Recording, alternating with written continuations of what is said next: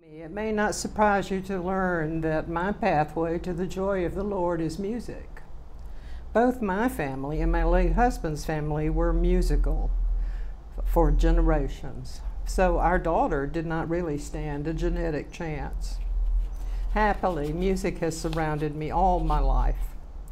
Recently, I read that music and painting are subcutaneous arts because they get under your skin.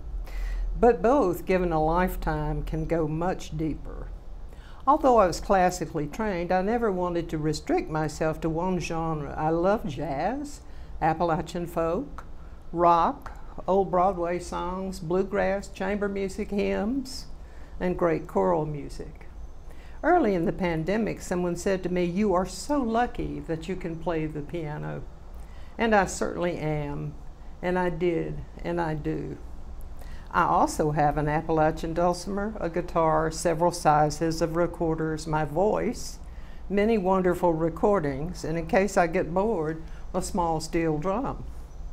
The piano and my voice have clocked the most mileage during the pandemic. All my life, I have loved making music alone or in a group. I love listening to music too and finding brand new music and musicians.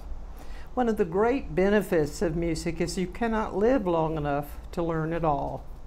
There are always wonderful surprises.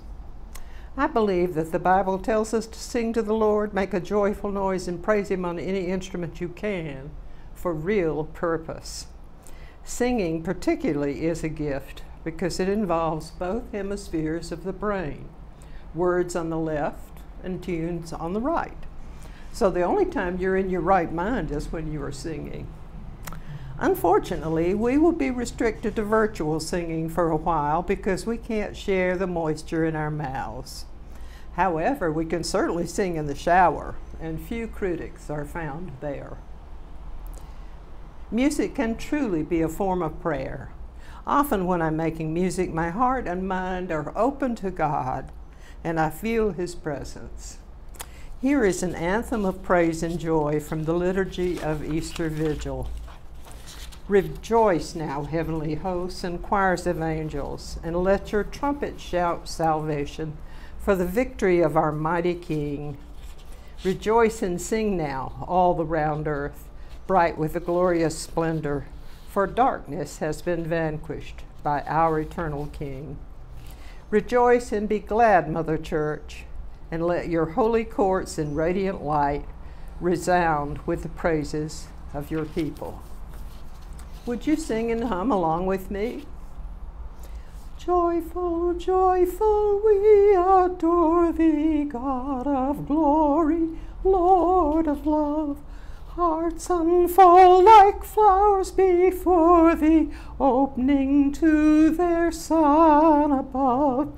Melt the clouds of sin and sadness, drive the dark of doubt away. Giver of immortal gladness, fill us with the light of day. Know that you are loved this day and every day. I'm Carolyn Roberts, and I approve this message.